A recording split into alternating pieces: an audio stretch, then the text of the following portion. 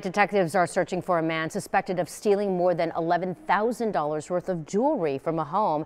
And this is the truck right there. Tampa police are still looking for at this hour. It's possibly tied to other crimes as well. ABC Action News reporter Maricela Burgos live in Tampa where she spoke with the victims. Maricela?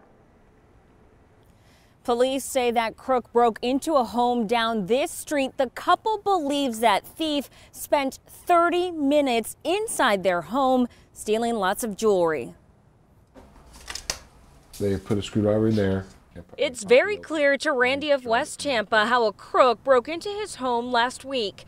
The couple noticed immediately something was wrong when they saw the front door ajar. And then she turned saw this and she goes, well, you need to get down in a hurry because I think we just got broken into.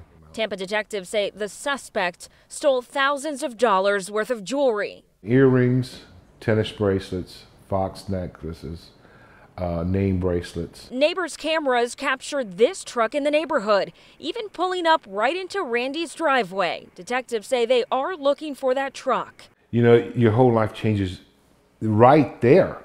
It did for this couple. Now they feel vulnerable. I was born and raised here in West Tampa and never had a problem. Making things worse, Randy had gotten the jewelry appraised in 2003. The value exceeded more than $11,000. But when he checked his homeowner's insurance, I didn't have a rider on the policy. So my homeowners only pays what it was on that on the policy itself. Nowhere near the value of the jewelry. Now they've added cameras all over their home, hoping to protect themselves as detectives search for the man in this truck. The biggest thing is, is knowing that somebody was able to get in where you thought you were safe.